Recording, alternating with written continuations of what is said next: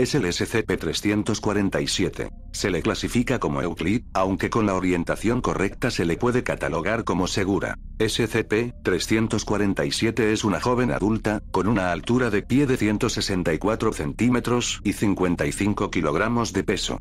A pesar de ser aparentemente una mujer con una edad de en entre 19 y 25 años, es completamente invisible.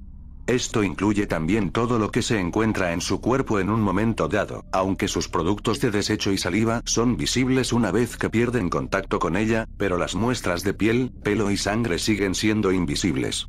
Las pruebas han confirmado que ella posee una visión normal, a pesar del hecho de que los conos y bastones de los ojos deben ser visibles con el fin de permitir la visión del ser humano.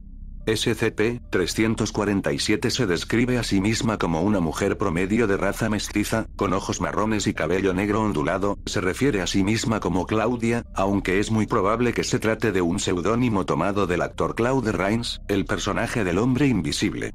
Su verdadera identidad aún no ha sido comprobada. Aparte de su invisibilidad, SCP-347 no tiene rasgos inusuales que no sean su notable habilidad para abrir cerraduras, el robo y se la ha observado tragar objetos pequeños con el fin de hacerlos invisibles, mostrando la capacidad de regurgitarlos sin renunciar a los demás contenidos de su estómago, un truco que ella dice que se le ocurrió después de ver a Stevie estar en un programa nocturno. SCP-347 se recuperó después de que noticias y rumores de un poltergeist que habitaba una casa abandonada llamaron la atención del personal de SCP en la zona. Después de que las cámaras infrarrojas revelaron que aún se desprendía una firma de calor humano, SCP-347 fue capturada rápidamente y después de mucha deliberación entró en custodia de la Fundación, a cambio de comida caliente y protección de los elementos.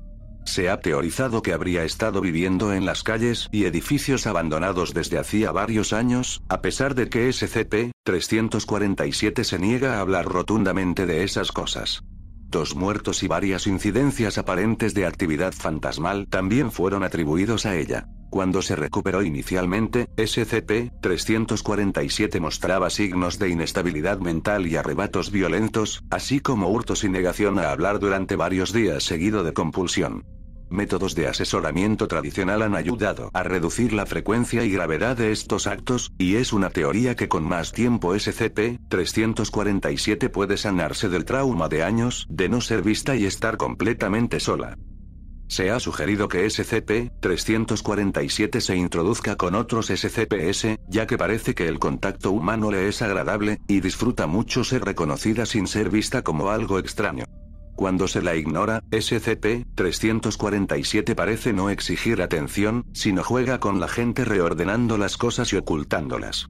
Cuando se queda a solas con alguien que está durmiendo o está distraído, hay que señalar que SCP-347 toca y acaricia a alguien que está durmiendo, lo cobija, entre otras cosas.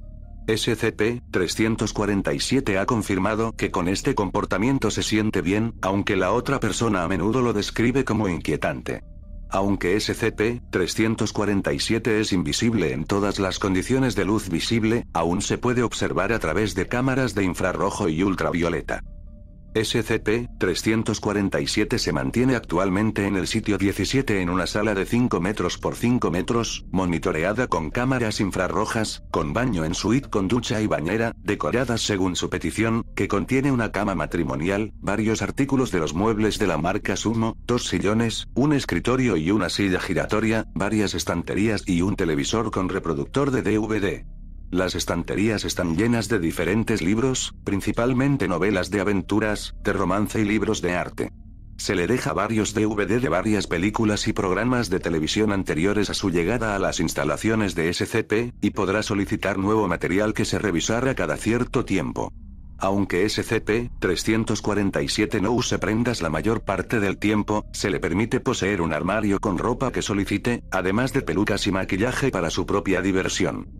Ella recibe tres comidas estándar por día, y puede pedir ciertas cosas más allá de su dieta normal de nutrición enfocada cuando quiera, procesando el gusto al pay de manzana, las granadas, y la cobertura de chocolate. La habitación de SCP-347 debe permanecer bloqueada mientras está en el interior, y al menos dos miembros del personal deben revisar su puerta para identificar cualquier signo de alteración cada hora.